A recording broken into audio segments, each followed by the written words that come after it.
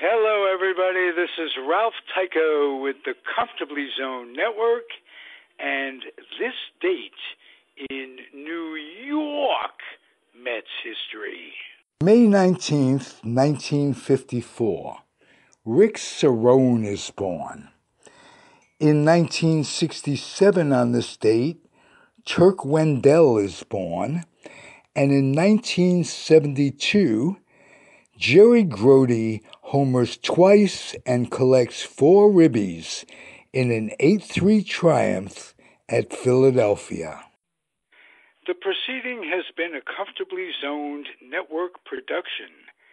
You are advised to keep your dreams wet, your humor dry, your children and grandchildren out of military recruiting offices and off the laps of clerics who wear dresses.